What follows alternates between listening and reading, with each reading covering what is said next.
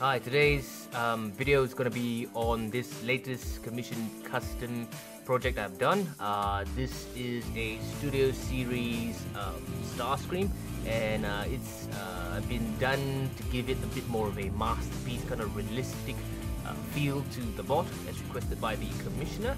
Um, here's a very quick look around the top half of the figure. As you can see, given it some details there, um, wires, paints for uh, for wires, and then um, added these two guns uh, that can act as uh, jet packs as well for the figure. So I kind of quite quite enjoyed this uh, custom project. Uh, it's taken a while for me to get this done, so I greatly appreciate the patience of the commissioner. Yes, I've given it some detail as well in the cockpit as well. I'll show you that a bit more shortly. And yeah, here's a bigger view of the figure.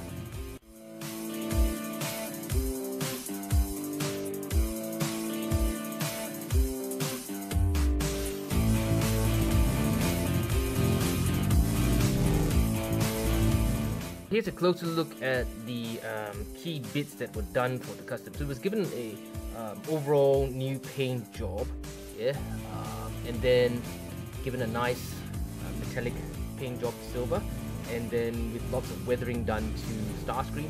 Of great significance, I think, uh, for this Starscream in comparison to others would be uh, the legs. So the feet, as you can see over here, there's these bits that jut out. Um, the commissioner was very particular about uh, wanting these bits done uh, to uh, basically look more like what was shown in uh, the, the movie. Yeah.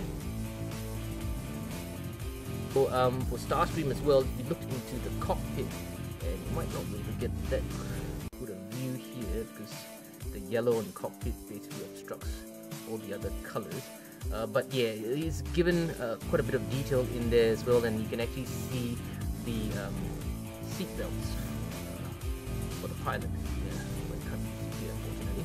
Um, bit of uh, further detail to the weapons, wiring, paint job done for wiring, for example, wiring in the arms. You can see a bit of blue and reds there as well. Engine bits and pieces Here's a closer look of uh, his face as well.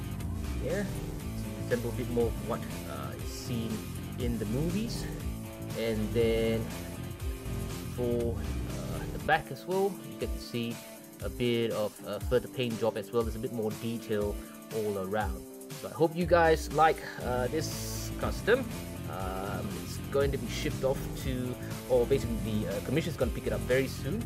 Um, yeah, and um, here's a view of how he looks like in jet mode. I'm not transforming him because uh, there's high risk of scratches as well. But I don't want to damage this, this bot, this beauty.